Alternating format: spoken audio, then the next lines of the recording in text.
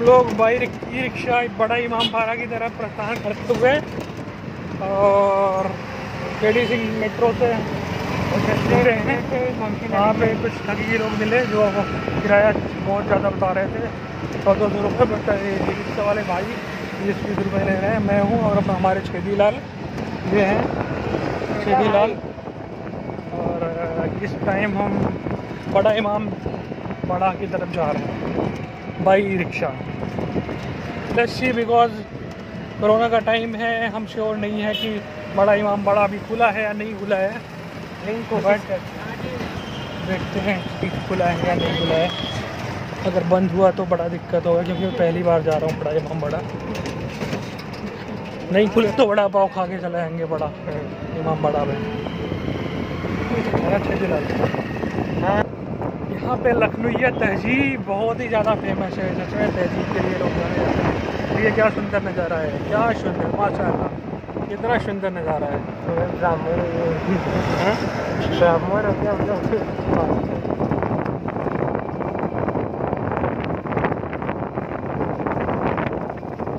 माशाल्लाह ये रिक्शा वाले भैया बहुत ही बाहर है मेरे rickshaw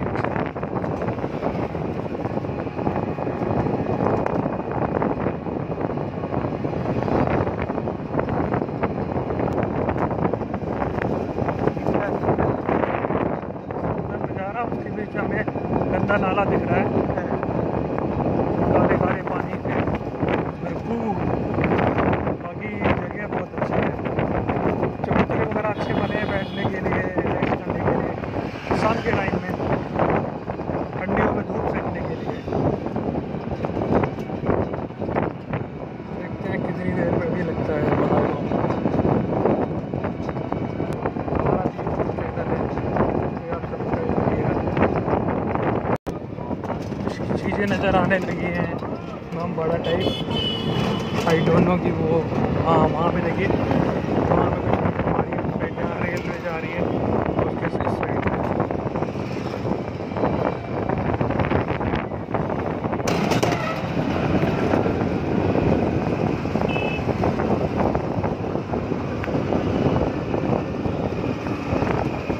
Atal Bihari Vajpayee science scientific या कन्वेंशन सेंटर है।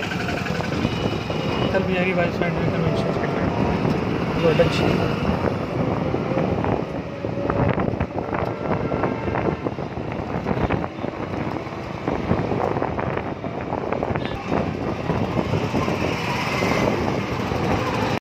भाई ये रिक्शा पे व्यू आ रहा है हम लोग को कितना ब्यूटीफुल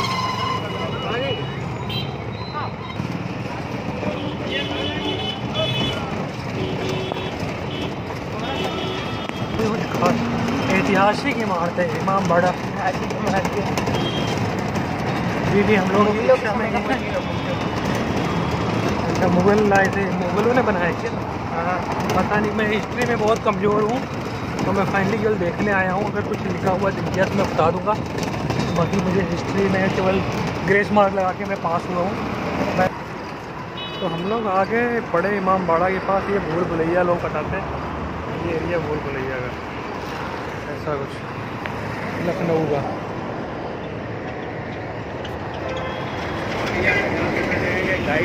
अरे अभी तो आया हूँ भाई, कैसे?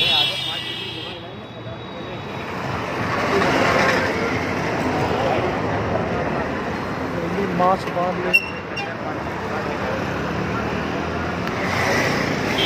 बता बता रहे पचास रुपये खर्चा है सब जगह जी। अरे अपने तरफ़ घूम ये तो दौड़ा के गाड़ी रख देगा तो घूमने क्या है? हाँ नहीं नहीं। ये व्यू है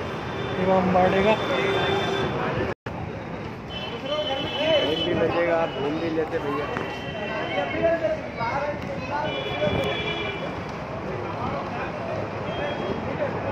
ये ऐतिहासिक।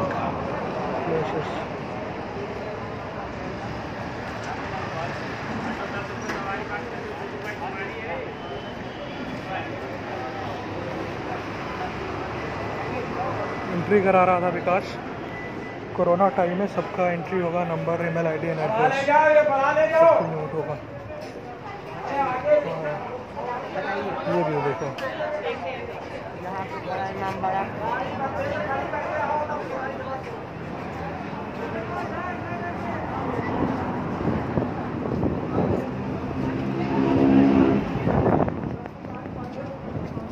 अंदर और शानदार होगा।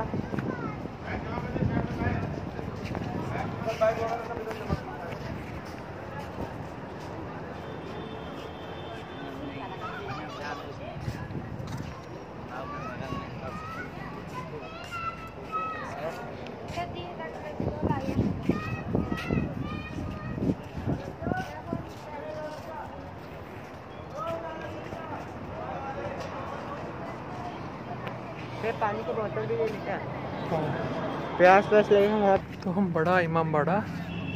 फाइनली इंटर हो चुके हैं। अभी अंदर जाना बाकी है। बहुत तेज़ धूप है चिलचिलाती धूप। और ये हमारा छेदी लाल पानी का बोतल ले लिया है और पानी पीते हुए पूरा सूख जाएगा आज। वाह गर्मी का टाइम गर्मी का टाइम यही टाइम हमें मिलता है घूमने के लिए वैसे। महल बहुत ही पुराना महल। महल के अंदर प्रवेश करते हैं।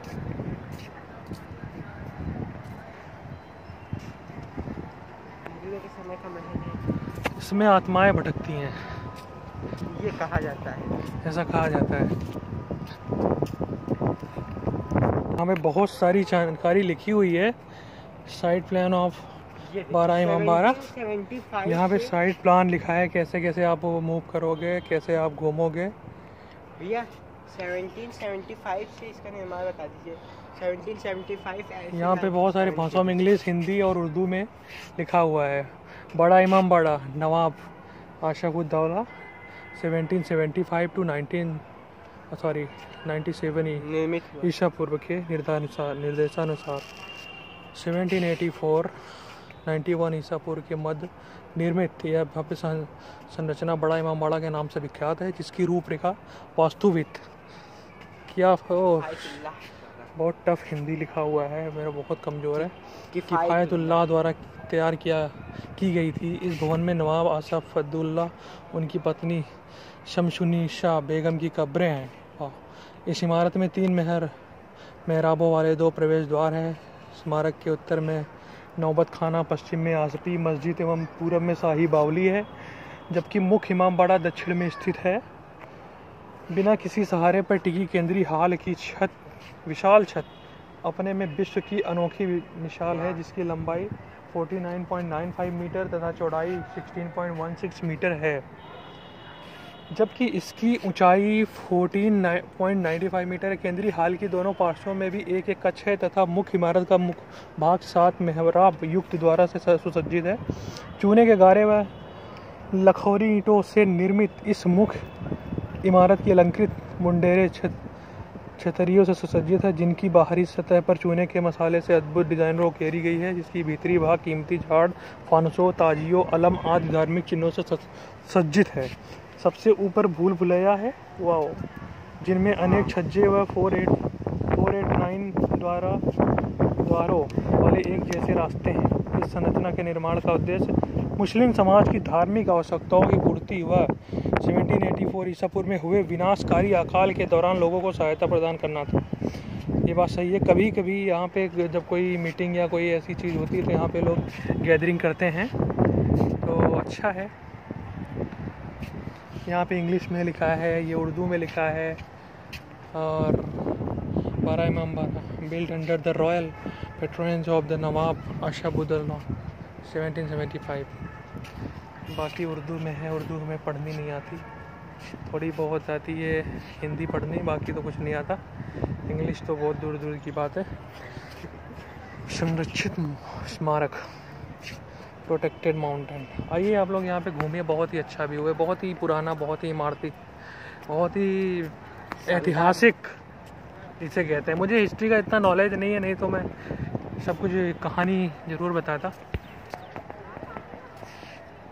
ये देखिए, अभी हम लोग एंट्री नहीं किए एंट्री गेट पे भी टिकट लेना है। टिकट लेने के बाद ही जो कुछ होगा। तो एंट्री गेट यहाँ पे टिकट मिलेगा।